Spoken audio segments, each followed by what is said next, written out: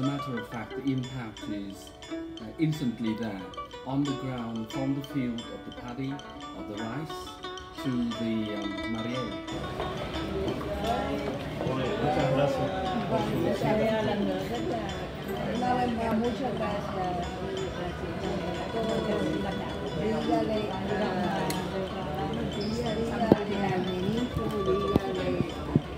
Nếu mà đồng chí sang là chúng tôi sẽ mời đồng chí vào phủ chủ tịch nha. que le agradecemos mucho su Y nosotros le agradecemos mucho la visita que consolida aún más los lazos históricos entre nuestros dos países.